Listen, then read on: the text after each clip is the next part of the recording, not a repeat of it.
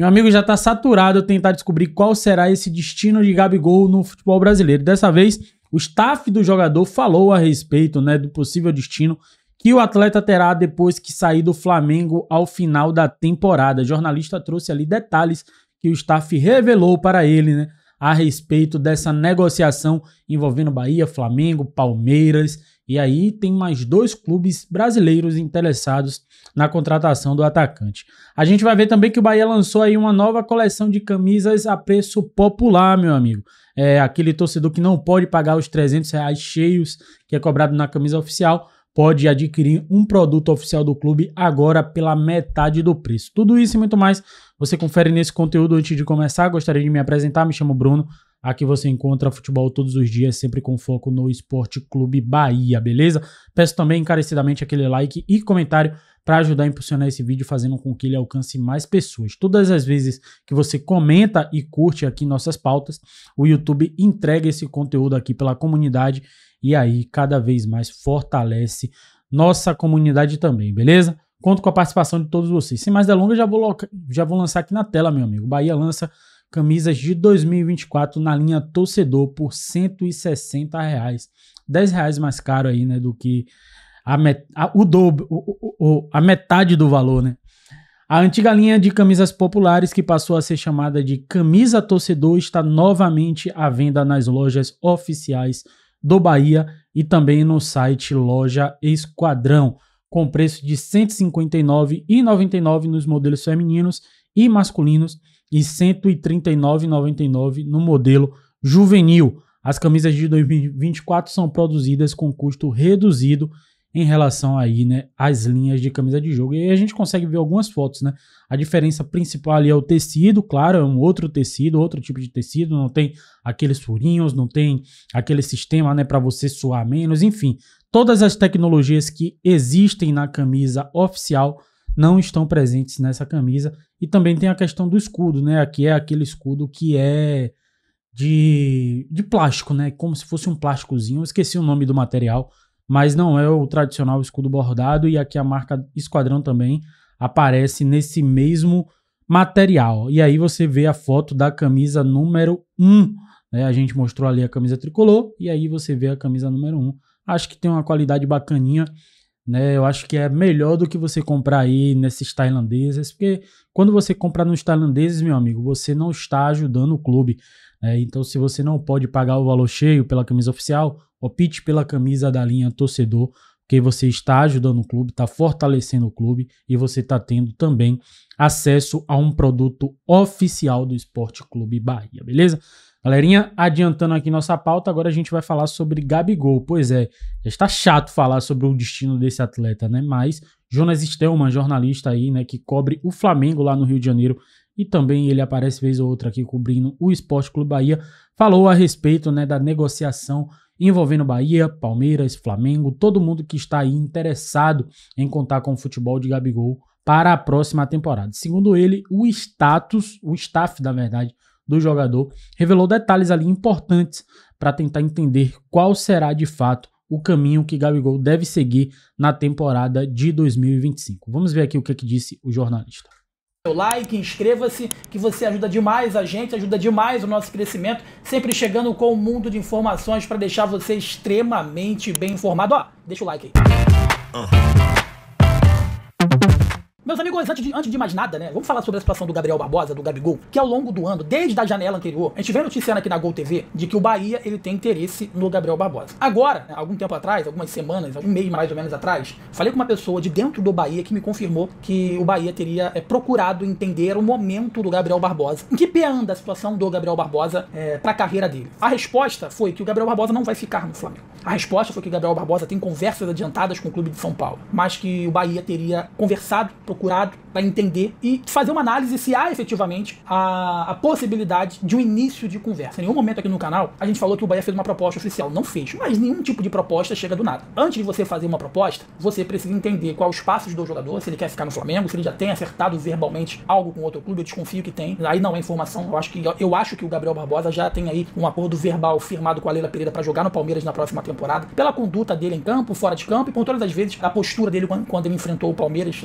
Bom, saiu no UOL, no o portal UOL que o Palmeiras, através da Leila, já tinha descartado a contratação de Gabigol para a próxima temporada. Segundo ela, não vai ter contratação bombástica, midiática para a próxima temporada lá no Palmeiras e eles estariam satisfeitos com o Flaco Lopes, né? E com o que oferece já o elenco do Palmeiras, visando já a próxima temporada. Então, essa informação aí, né, já foi né, desmentida pela Leila né, que o Palmeiras não está interessado mais no Gabigol. Mas vamos seguindo aqui. Na hora de falar com a Leila, na hora de ficar batendo papo com os capitães, com os jogadores, eh, com as lideranças ali do Palmeiras, né? Mas o Bahia procurou sim. E aí, a gente não trabalha aqui apenas com uma fonte. Quando chegou essa informação para mim do Tricolor Mas é importante a gente frisar que apesar, né, de ter, ela ter ido na imprensa falar a respeito disso, pode ser uma mera estratégia, né, para não inflacionar o jogador, visando que Gabigol no mercado, meu amigo, vai receber muita proposta, isso aí não tenho dúvidas. Muito assédio vai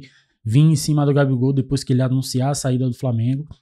Né? Então pode ser uma estratégia aí para não inflacionar o jogador e ela tentar aí, né, trazer o jogador pelo valor ali mais barato. Mas enfim, vamos seguindo. O baiano de que o Bahia procurou, aqui no Rio de Janeiro nós temos muito contato com o staff aí do atleta, algumas pessoas da nossa confiança, né? Porra, Paparazzo Rubro Negro, a galera também tem muitos contatos com o Gabriel Barbosa, né? Com o staff aí do Gabriel Barbosa. E eu fiz questão de pessoalmente entrar em contato com uma pessoa do staff do Gabriel para poder efetivamente entender. Porque como é que funciona, meus amigos? É, alguém, vamos supor um exemplo. Essa pessoa, do, essa pessoa do Bahia fez contato comigo, como já tinha feito anteriormente sobre o Everton Ribeiro, falou também sobre o Júnior Alonso e foi confirmado pelo staff do Júnior Alonso que o Bahia procurou o jogador, foi confirmado pelo staff do Dória que o Bahia procurou o Dória, mas só que a gente tem que ter cuidado quando o staff fala alguma coisa ou quando o clube fala alguma coisa. Por quê? Staff, empresários usam a imprensa. E clubes também usam a imprensa para poder divulgar algumas informações, para poder de alguma forma fazer com que chegue o torcedor alguma informação que eles querem entender como é que vai ser a, a tal da, da, receptividade. E aí, depois de essa informação de que o Bahia procurou para saber a, qual é a situação do Gabriel Barbosa, nós entramos em contato com o staff do Gabriel Barbosa, que confirmou sim, recebemos a ligação vinda do Bahia para poder eles perguntando se tem algum negócio, se o Gabriel vai renovar, se não vai renovar, se já tem é, algum acordo verbal e a conversa tendeu para esse caminho. E aí eu perguntei: Bahia fez uma proposta oficial? Falaram de valores? Não, em nenhum momento. Em nenhum momento foi falado de valores, em nenhum momento foi falado de tempo de contrato. A conversa foi basicamente para entender quais serão os próximos passos da carreira do Gabriel Barbosa. E aí, meus amigos, respeito a fonte de todo mundo. Tem muito jornalista bom que cobre o Flamengo aqui na parte do Gabriel Barbosa, tem muito jornalista bom que cobre a parte do Bahia. Cada um tem as suas fontes, né? Isso é jornalismo, isso é democracia, vamos dizer assim. Cada um buscando a informação e divulgando aquilo que, teoricamente, você julga como é, importante verdadeiro para passar para o seu leitor, para o seu telespectador, para o seu ouvinte. Então, assim, eu tive muito cuidado antes de ter chegado essa informação do Bahia para mim, de divulgar, não divulguei.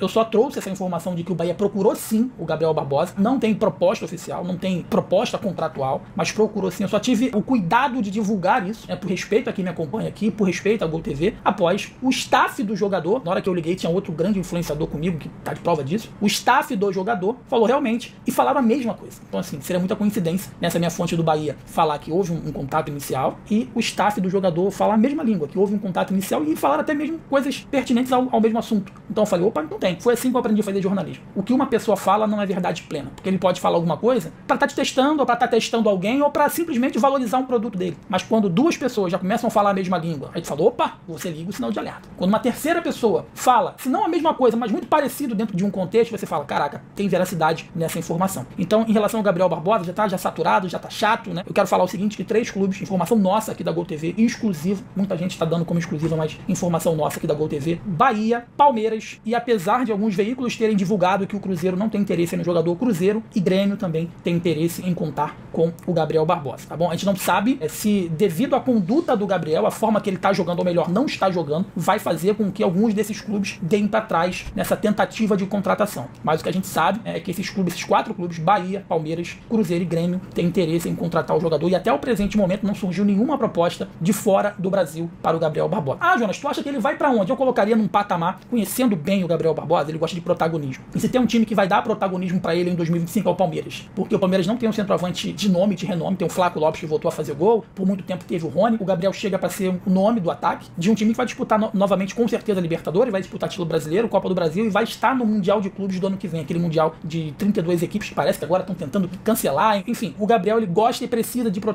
Numa segunda prateleira eu coloco o tricolor baiano pelo poder de investimento e pelo fato de ter Everton Ribeiro e o Rogério Senna ali também para persuadir o Gabriel Barbosa. E ali o Gabriel Barbosa, ele seria o grande nome, mesmo tendo Everton Ribeiro, mesmo tendo Tá, eu acho que já é o suficiente e eu vou justamente parar nessa fala, porque é o que mais me incomoda me incomoda muito o fato do Bahia tentar Gabigol para 2025, sendo o grande nome. De, o, o grande nome do Bahia em 2025 vai ser um jogador que em 2024 não funcionou de jeito nenhum. Recebeu a oportunidade, enfim, não funcionou. Um cara que em 2024 foi um desastre. É o nome do Bahia, o grande nome do Bahia para 2025. Essa é a impressão que fica, né?